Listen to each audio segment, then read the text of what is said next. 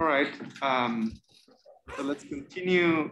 Um, we are happy to have Manuel Accettulli Huber, who's going to tell us about the effects of higher derivative interactions on classical observables. So thanks for introduction and thanks for the organizers uh, for giving me the opportunity to speak here today. I'll join Andres and the other speakers in saying I would have loved to take this opportunity to go to LA, but let's hope for next year. So today I'd like to talk um, about some work I've been doing with uh, my supervisors, Gabriele Travaglini and Andy Brandhuber here at Queen Mary in London, as well as with uh, Stefano De Angelis. We have been working together essentially for most of our PhD, and he will have a talk right after mine where he will discuss more recent work we've done together in the standard model EFT context, whereas I will take, so to say, a step back in time and tell you about something, what we were up to uh, last year, specifically uh, content of this paper. So background, this doesn't come too much surprise, I guess. It's two-body problem, which is a very interesting problem in its own right. But of course, after observation of gravitational waves at, uh, uh, in, at the end of uh, 2015, an incredible boom has, has occurred. And we've had already many talks discussing the amazing uh, progress which has been made over the last years, months, and in various different aspects of this. What I'm most interested in is the extraction of classical physics from amplitudes. In particular, what I would like to talk about today is uh, the deflection angle and the time delay coming from uh, the eikonal phase when in the theory we introduce also higher derivative operators. In particular, these are the ones I call R cubed, R to the fourth, and FFR, which I will introduce in the next slide. But before doing so, I just wanted to briefly mention that there has been a lot of work on uh, several of these operators from several different perspectives, including, of course, double copy relations, effects on high U, on UV physics of R cubed or gravitational radiation from R to the fourth, positivity bounds on R to fourth. Of course, all, also other works I'm not mentioning about, um, but which have been discussed in the first days of, uh, of the conference and modification to, to a potential coming from R cube so there's been a lot of interest in these operators. Now, um, as I mentioned, I want to get to the deflection angle and the time delay, and I want to get there through the eikonal phase. Uh, we will only look at leading and subleading contributions, which depending on which operator we will be looking at, this goes up to one loop. So we will use unitarity to do so. Calculations will be relatively simple.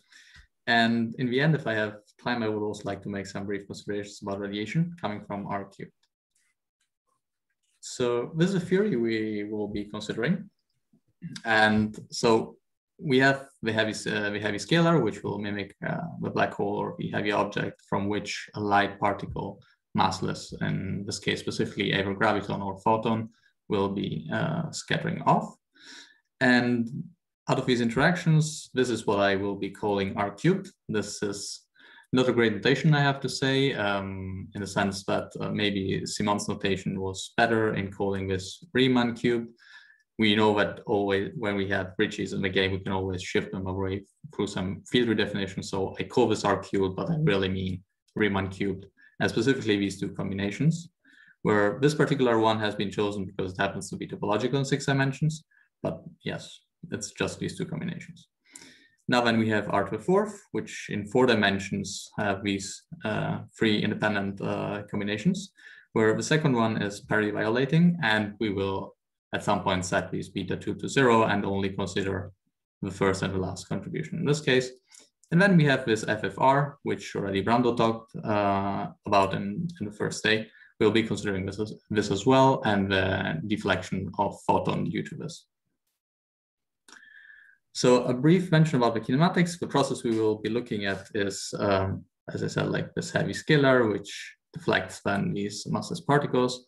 Um, uh, word of caution, for some reason, we use a convention which is not the usual convention in the sense we have here the S channel instead of a T channel for the momentum exchange. But okay, this shouldn't be too much of an issue. We call omega the energy of a massless particle. And another small uh, warning about the notation. Here, these arrows depict the physical situation we are interested in, but in the calculations, we always do all outgoing states.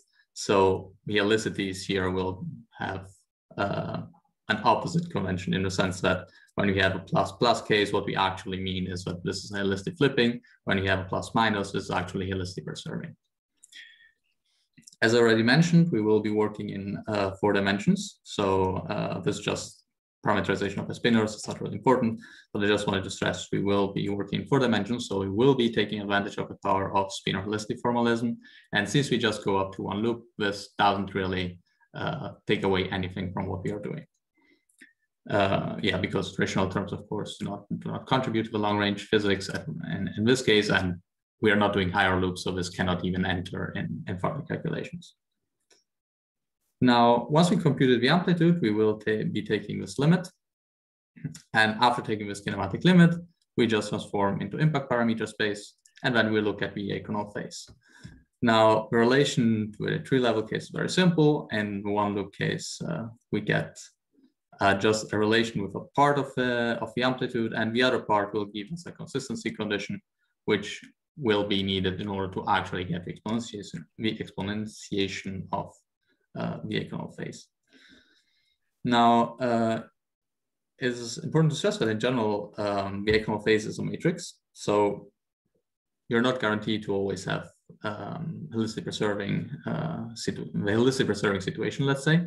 This is particularly true if you have these higher derivative operators, which give you a complete uh, sort of, uh, of matrix. And um, this is different from the Einstein-Hilbert case where at leading order, you, for example, here I brought up this example, you will just have this is what is the helicity preserving state. So you will have a diagonal matrix here and this prefactor.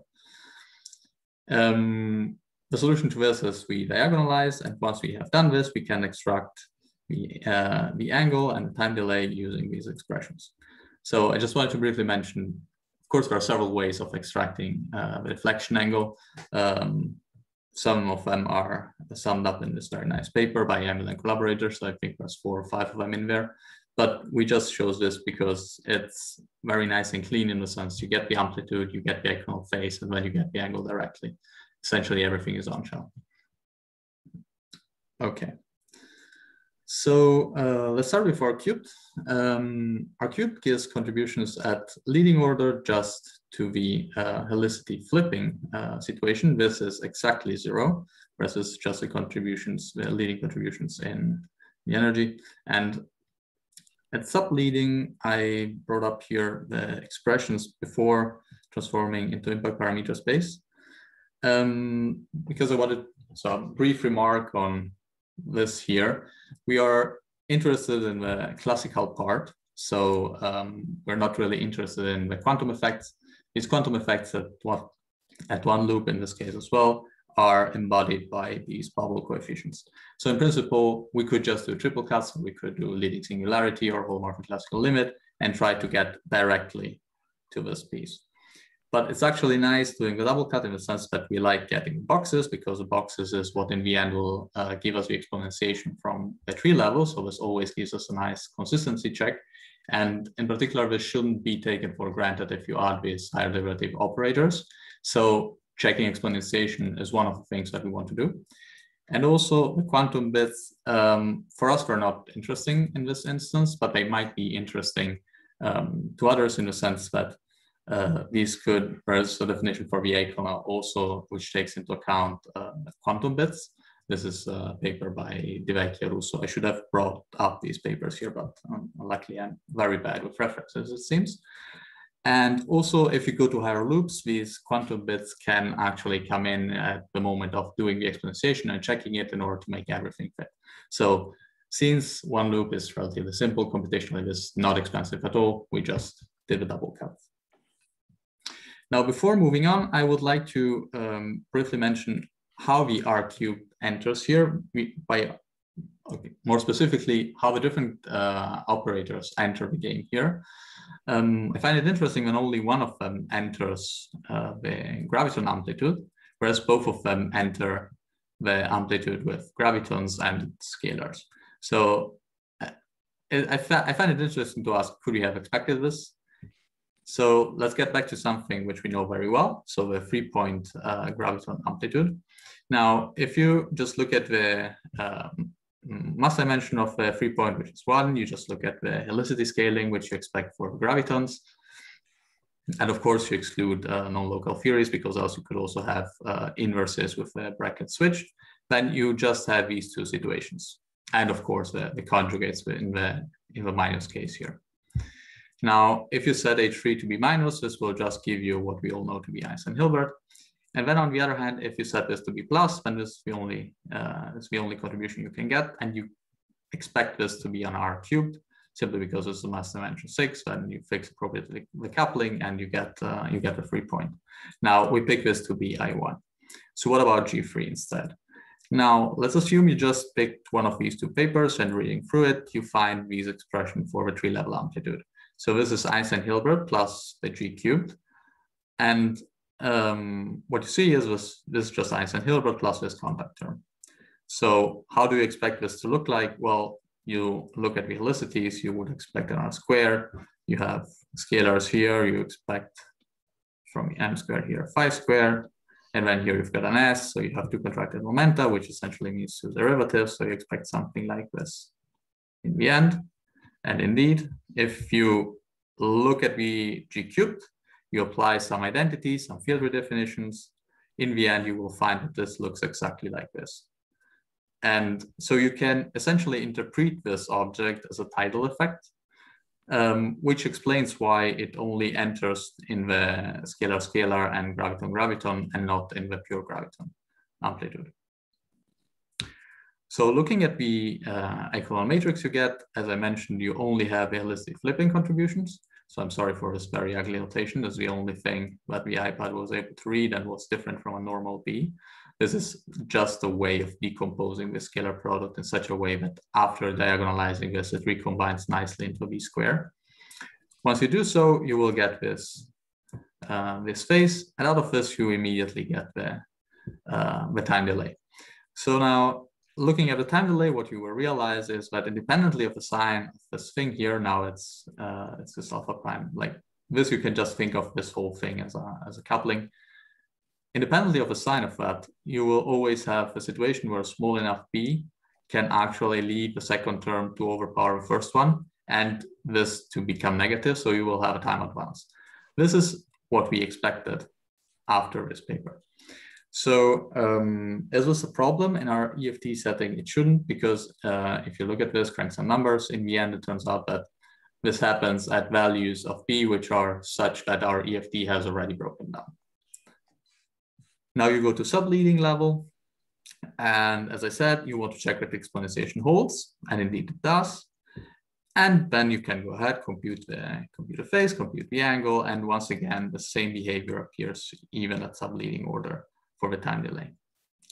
Now, what about R to the fourth? Here I'd like to go through a similar reasoning than before. We have a Lagrangian, so in principle, we could just um, go through the whole machinery, compute the, um, uh, the Feynman rules, the touch states, and get the amplitudes in the end. So I don't want to give impression that uh, I'm one of the people um, Andreas was mentioning, hating Lagrangians, but I just like this way of thinking much better, which is, I know it doesn't, R to the fourth does not contribute to a three point, so let's look at four point. I write down all the helicities for four point. Now I try to understand what the amplitude looks like, just analyzing uh, the properties of this, of the amplitude. We know the mass dimension, we know that for every single graviton, you need to have four spinors of this type, at least four of them contracted in an appropriate way. And now we try and list all the possible ways for this uh, for these contractions to, to happen, introducing this shorthand notations for the um, three, let's say, building blocks of a Schouten identity. And you quickly realize that considering the plus, these are the only four ways you can actually um, con uh, contract these uh, the indices in such a way that Bose symmetry holds for the amplitude, right? Because you want to be able to swap any two particles and still get out the same result. Now, as I mentioned, these are just the building blocks of the Schouten identity, so you know that this holds. And using Schouten identity, you quickly realize that all four of these structures are related. So just pick one of them, the simplest one, we choose this one, and this will give you the amplitude. Same, uh, same game holds for the other helicity configurations, the O minus and the MHV. This fixes you the amplitude, uh, this fixes the amplitude completely up to the coupling. So in principle, we choose here three arbitrary different couplings, beta plus, beta minus, and beta tilde. If you now get back to Lagrangian and actually do the calculation and uh, get the amplitudes once again, you will find these relations between the betas we have put in front here and the betas which were in the original Lagrangian. Now, as I mentioned, we discard the parity violating bits. So we set beta 2 to be 0. And this will give you then beta plus, beta minus. We just set this to be beta. And as expected, this leads to the fact that you conjugate this one and you get this one. Okay. So um, as R to the fourth does not modify the free graviton amplitude, you also expect this to be vanishing, which indeed it is, and this leads to the fact that the leading eikonal phase is zero. At this point, you look at the subleading one, you get uh, these expressions, and sort of consistently with the fact that there is no leading term, there are also no boxes inside these expressions, so there is no exponentiation happening. And you go ahead and you compute a phase, you get the angle, you get the time delay. And this time, so uh, here we have what I'm writing down is the variation of uh, the time delay only due to the operator. So um, there should be also an Einstein-Hilbert bit in front of this. If you look at the complete thing, now um, you can still, since this is proportional to this combination of the couplings, you could ask yourself, is there a way of combining the couplings in such a way that whatever value of B I choose, independently how small this is, I will never get the time advance? And there is, you just need to set these to be positive, and this relates back to the beta 1 and beta 3 in the original Lagrangian. This just restores you these positivity uh, bounds which these people have found. Now you have to always take this with a grain of salt because of course in our EFT we will never be able to take this B as small as we want. So this was just to make a connection with previous talks. Now let's look at FFR. Um, this, on the other hand, you have uh, the leading and subleading once again. Mm, this has, depending on whether you look at photons, whether you look at the gravitons, it has a behavior which is either similar uh, to R cubed. So in this case, you look at photons and you see that the behavior is similar to R cubed in the sense that you once again have the Einstein-Hilbert part and then the additional piece coming from the FFR with a sign in between. So you expect, as it indeed does, um, that looking at the time uh, at the time delay, you will have a possibility of small enough betas uh, b's making this uh, this negative. And again, you just uh, you can then look at the at the subleading contributions. You find the same behavior, and in the end, these are the expressions you get. On the other hand, if you look at uh, the graviton deflection, this will have similar behavior to R to the fourth. There will be no leading contributions. So once again, the leading eikonal phase is zero. Here you'll need uh, some amplitudes, some more amplitudes. I just display them uh, for sake of having them here. Now Q square is electric charge. And we get a very simple expression for the subleading contribution. And this time um, it does actually look exactly like Einstein-Hilbert in the sense that you only have helicity preserving terms. And this leads you to this diagonal matrix, this, uh, uh, this deflection angle and this time delay. And once again, this is proportional to the coupling. So in principle, you could say, okay, if I fix this to be positive, I will never have time advance. Now, one thing I uh, forgot to mention about the to the fourth. So if you now look at this, uh, at the delta here, you will have power one in uh, omega, which is what you would expect. But interestingly, if you look, uh, sorry, here I'm going farther down. If you look at the R to the fourth, you actually have omega cubed. So this is a behavior we didn't expect and which would make it interesting to go actually to higher order and check whether exponentiation still holds despite this behavior. Okay, so after this, I just wanted to uh, briefly mention something about radiation. So as you could have guessed, I really like amplitudes and doing things the on-shell way whenever possible. But this doesn't mean that uh, a priori I always think this is the best way of doing so. So I just quickly um, wanted to mention an example where um, there are actually faster ways to get to where we want to get. This uh, in particular um, refers to the last paper we had last year. And the idea was to look at um, the gravitational wave flux and the waveforms um, coming from R cubed. Now, if you want to, uh, to do so, what you need is essentially the potential and the quadrupole. These will enter the waveform in the end. The potential, we already had it coming from these papers. So we just need to compute the quadrupole. And the quadrupole only gets this very simple contribution at leading order. There's only this diagram, with this being the R cubed term. And so from matching to this point particle action, you should be able to easily read off what the uh, quadrupole looks like. And indeed, it, uh, it is relatively simple to do so. So you can compute this. Uh, these are the expressions for the I1 and I2. I2, I'm sorry, I never mentioned it so far. It's just the second Riemann um, contraction we had in the inside the G cubed. So more specifically, we can just quickly go back here. Um, this is, uh, yeah, sorry. That's not what I wanted to do. Uh, okay, this bit here is what I called I2. And okay, I lost. Okay, so uh, we computed this for I1. Uh, it's presentation mode. We computed this for I1. We computed it for I2. And now it's simple to recover G3, just a sum of the two contributions and setting alpha 1 to 0. So now here uh, you will simply expand these components into the non-relativistic components. You can read off the term which is of interest to you. Later on, I will just expand this uh, to the leading PN order because this is what we what you're interested in. And for the sake of comparison, I also took the so we also took the tidal interactions.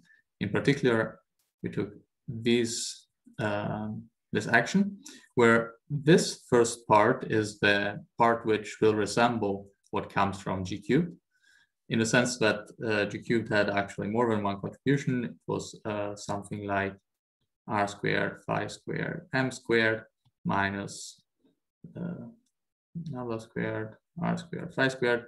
So this bit actually only contributes uh, quantum parts. So for us, the relevant piece is this one. So what we want to look at also is this tidal interaction Lagrangian. And this in particular will be the, the bit which we're more interested in. Once again, contributions are very simple. It's just these two diagrams and potential is given by these offers. So we can once again extract the expression here, read off the part which we're interested in. Here we introduce the non-relativistic normalization. And in the end, we define these coefficients in such a way that here essentially just read off the Newton potential. And expanding them in uh, leading PN order, you get these expressions. We don't really want to focus this much on this, but just to mention it. And in the end, in order to get the flux, we will also need, so we use the total energy per unit mass.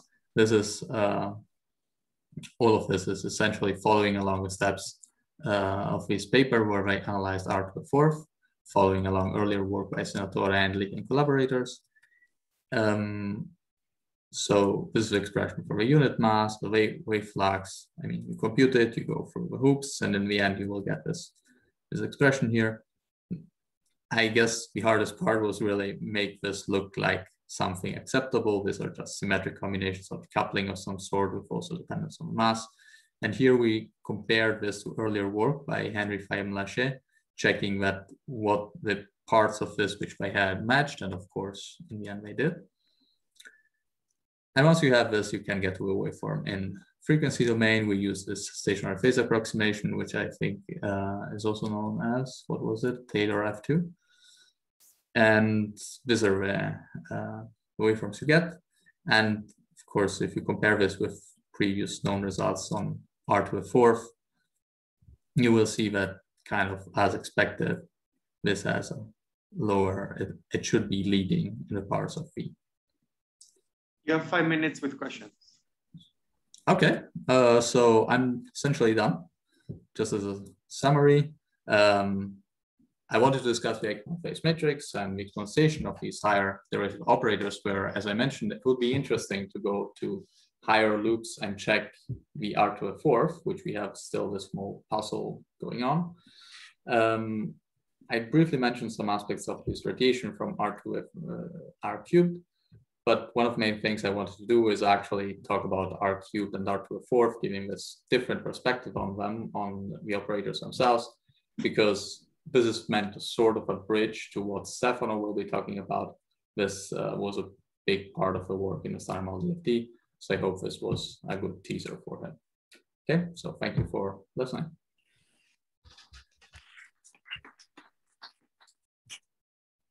Okay, questions?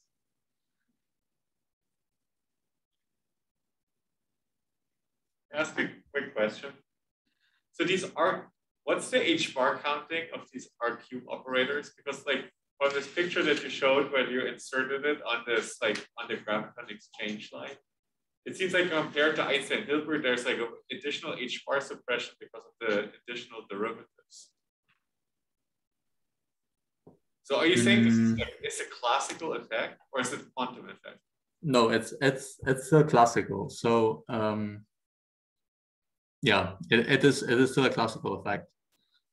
We did the counting in the uh, where is sorry, yeah, notation. Okay, so here we just fed in the full thing. We didn't worry about picking out the classical pieces right away, which we could have done. But being the whole thing simple enough, we just plugged it in and did the scaling afterwards. And what I showed you here is just the classical part of it. So yeah, it, it is still classical. I think, I think it depends on the curve that you use. So if you use M Planck, then that's be quantum. If you have additional skills, like Sorry, I, I, I can't hear you. Oh, so just a small comment on the original question. So I think that a little bit depends on the scale they're using. So if you have m Planck uh, for this high dimensional RQ, then these are of the same order as quantum. You put in superficial one over h bars to make no, no, it's not that. It's it's the string scale, right? So, so imagine if this coming from string scale or some other new physics, then this could be classical. So maybe, maybe effect, right? yeah, maybe maybe a related question, uh, or another way to phrase it, Enrico's question is: you have alpha prime here, or or whatever scale of new physics. Do you know how low that has to be so that it's uh, it's not uh, comparable to say one loop corrections to Newton or something like that? Uh, just roughly, yeah. Or um, this this is a very good question, and we did this at some point but I have to be honest, I, I simply I simply don't remember. We didn't put it in the paper in the end. It's one of those things where literally cranking through numbers to check that everything was meaningful and kind of consistent. I apologize. I literally can't remember what the value is. That's problem. Yeah. Any more questions?